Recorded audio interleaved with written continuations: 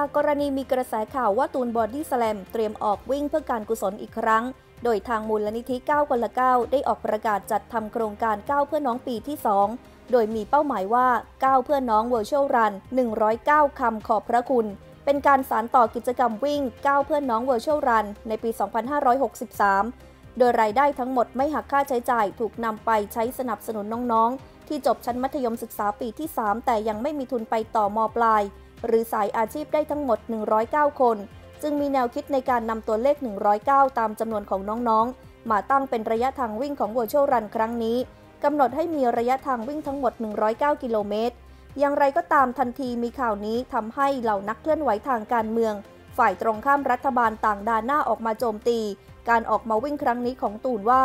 วิ่งสร้างภาพให้ตัวเองเป็นฮีโร่ทั้งๆทที่ไม่ใช่หน้าที่ที่ต้องออกมาวิ่ง รวมไปถึงโจมตีไปถึงนโยบายด้านการศึกษาของภาครัฐ ล่าสุดพัฒนาเดชอาสาสันพกิจ หรือนาเดชสื่อสารมวลชนอาวุโสด้านยานยนต์ ได้แสดงความคิดเห็นผ่าน Facebook ที่ชื่อ ยิ่งรักยิ่งลุ่มหลงระบุว่าไม่รู้จักไอ้ตูนมาก่อน มารู้จักตอนมันวิ่งครั้งที่แล้ว และไม่เคยบริจาคให้มันแม้แต่สลึงเดียว แต่นับถือมันสามารถระดมเงินไปช่วยโน่นช่วยนี่ได้เยอะ คราวนี้ได้ข่าวว่าไอ้ตูนมันจะวิ่งอีกแล้วก็รู้สึกเฉยๆนะ และคงไม่ได้บริจาคอะไรกับมันอีก เพียงแต่อยากจะบอกกับไอ้ตูนว่า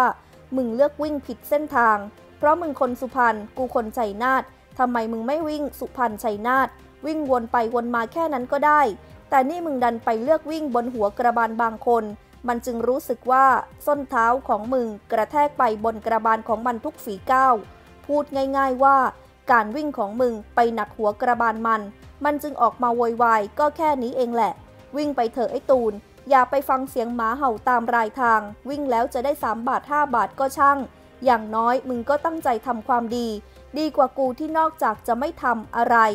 นอกจากหอบข้าวของหนีออกจากโรงพยาบาลแล้ว กูยังด่าไปทั่วอีก ตูนเอ้ย สังคมไทยน่าเป็นห่วงตรงที่เวลาใครทำอะไรสักอย่างหนึ่งคนที่ไม่เกี่ยวข้องก็จะด่าหน้าออกมาด่า ส่วนใหญ่ก็ลากโยงไปพัวพันกับการเมือง เช่นเรื่องที่นักร้องตูนจะออกมาวิ่งหาเงินบริจาค ก็มีคนออกมาด่าออกมาว่าทำไมไม่ทำอย่างนั้นทำไมไม่ทำอย่างนี้ ผมว่ามันเป็นเรื่องของเขา เป็นวิธีคิดของเขา เราไม่ชอบก็ไม่ต้องไปบริจาคแค่นั้นเอง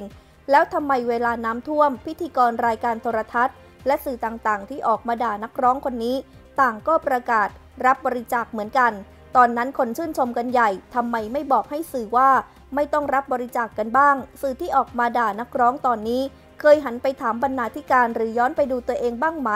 หรือว่าเรื่องรับบริจาคนี่ทำได้เฉพาะสื่อเท่านั้น คนอื่นห้ามทำผมไม่มีส่วนเกี่ยวข้องใด ๆ ไม่เคยบริจาคเพียงแต่อยากออกมากระตุกขาสังคมไทยทุกวันนี้ ให้ค่อยๆคคิดกันให้รอบด้าน ต่างคนต่างมีวิธีการที่จะช่วยสังคมแตกต่างกันไป